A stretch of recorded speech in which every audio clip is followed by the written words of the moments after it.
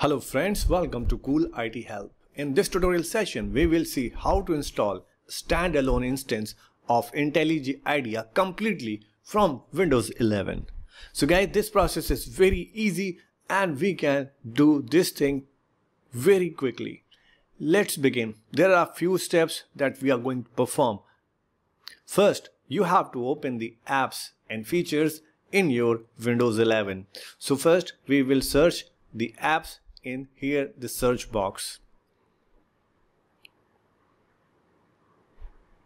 So when you type app, you will see this option add and remove programs or you can directly go to the apps and this kind of window will appear in front of you. You can see right now we are on the apps section. So in the search box, you have to type the IntelliJ IDEA. When you type and you will find the IntelliJ IDEA Community Edition is installed here and go to here and just click on the uninstall button. Okay, great. After that, you will see this pop-up box, click yes and wait for a few seconds. Then this window will appear. So here you have to select and confirm these check boxes. Check all and click uninstall and wait for a few seconds for the uninstallation of this IntelliJ IDEA. After that, we need to perform two more simple steps for complete uninstallation. Close this window and minimize this. Now we're going to move further. So guys, depend on your Windows version and the version of the IntelliJ IDEA you have installed. So the uninstall program, uh, the procedure will be different. And one another way is available. So you can simply go to the installation directory go inside the bin and just run uninstall.exe that will also work. After that you have to perform the second step. In this we will delete two different directories. Let's go for it. So first you have to go here at the windows explorer and then go to the c drive.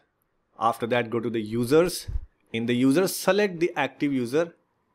Okay?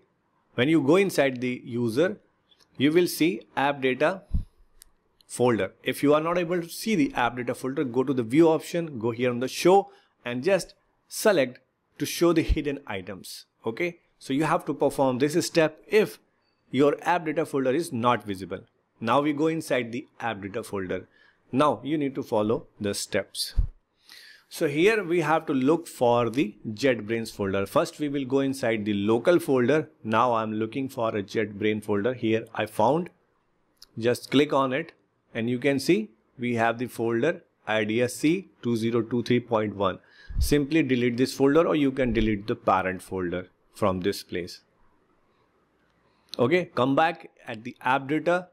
Now we need to go inside the roaming folder and we will delete one more folder from this place. Here's the roaming and look for the IntelliJ IDEA or the JetBrain. So we will get a folder like JetBrains here. Go inside and delete all these folder and files. That's all. So we have uh, cleaned up everything related to the IntelliJ IDEA from the Windows 11 successfully guys we have done it.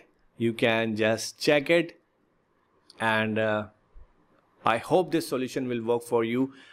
And if you found this tutorial useful please hit the like button and please subscribe to support. And for now thanks for watching. Cool IT help